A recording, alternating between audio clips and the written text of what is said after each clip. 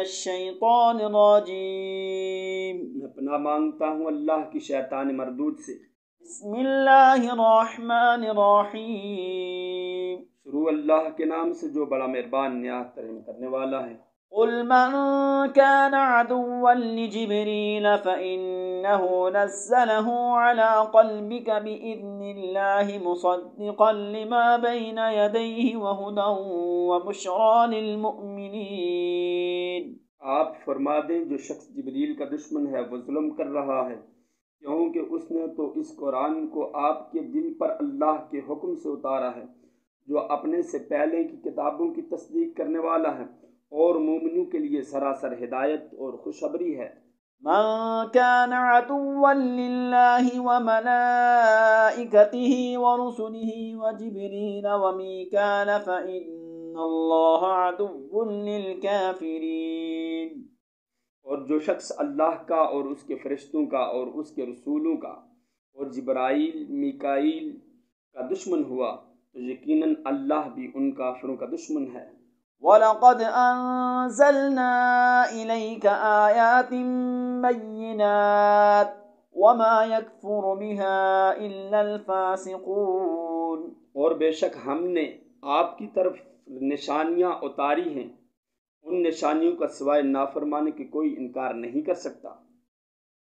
أَوَكُلَّمَا عَاهَدُوا عَهْدًا نَبَذَهُ فَرِيقٌ مِّنْهُمْ بَلْ أَكْثَرُهُمْ لَا يُؤْمِنُونَ۔ اور کیا ایسا نہیں کہ جب بھی انہوں نے کوئی عہد کیا تو ان میں سے ایک گروہ نے اسے توڑ کر پھینک دیا؟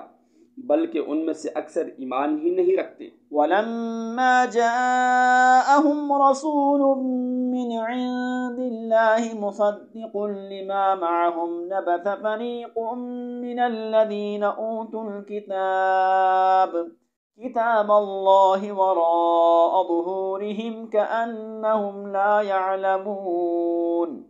اور اسی طرح جب ان کے پاس اللہ کی جانب سے رسول محمد صلی اللہ علیہ وسلم آئے، جو اس کتاب کی اصلاً تصدیق کرنے والے ہیں اور جو ان کے پاس پہلے سے موجود تھی، تو انہی اہل کتاب میں سے ایک گروہ نے اللہ کی اسی کتاب تورات کو پس پشت پھینک دیا۔ گویا وہ اس کو جانتے ہی نہیں، حالانکہ اسی تورات نے انہیں نبی آخر الزمان حضرت محمد صلی اللہ علیہ وسلم کی تشریف آوری کی خبر دی۔ واتبعوا ما تتلو الشياطين على ملك سليمان وما كفر سليمان ولكن الشياطين كفروا يعلمون الناس السحر وما أنزل على الملكين ببابل هاروت وماروت وما يعلمان من أحد حتى يقولا إنما نحن فتنة فلا تكفر فيتعلمون منهما ما يفرقون به بين المرء وزوجه وما هم بضارين به من أحد إلا بإذن الله ويتعلمون ما يضرهم ولا ينفعهم وَلَقَدْ عَلِمُوا لَمَنِ اشْتَرَاهُ مَا لَهُ فِي الْآخِرَةِ مِنْ خَلَاقٍ وَلَبِئْسَ مَا شَرَوْا بِهِ أَنفُسَهُمْ لَوْ كَانُوا يَعْلَمُونَ۔ اور وہ یہود اس چیز کو یعنی جادو کے پیچھے لگ گئے تھے جو سلمان علیہ السلاۃ والسلام کے عہد حکومت میں شیطان پڑھا کرتے تھے۔ حالانکہ سلیمان علیہ السلاۃ وسلام نے کوئی کفر نہیں کیا، بلکہ کفر تو شیطانوں نے کیا جو لوگوں کو جادو سکھاتے تھے۔ اور اس جادو کے علم کے پیچھے لگ گئے جو شہر بابل میں ہاروت اور ماروت نامی وہ فرشتوں پر اتارا گیا تھا۔ اور دونوں کسی کو کچھ نہ سکھاتے تھے۔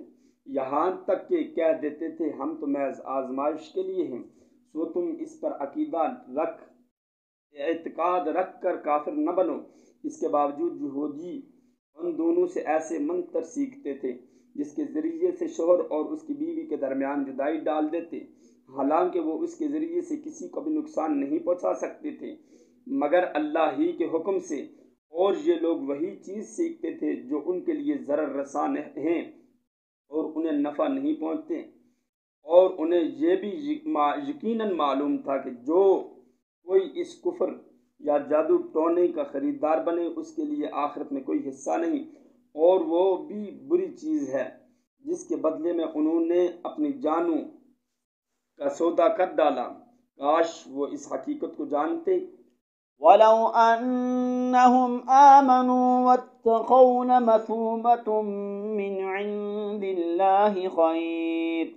لو كانوا يعلمون۔ اگر وہ ایمان لے آتے اور پرہیزگاری اختیار کرتے تو اللہ کی